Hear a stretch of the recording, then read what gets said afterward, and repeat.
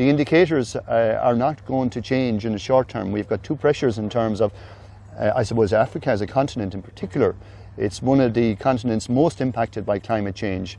Climate change that actually is impacting on the level of resources available to that continent.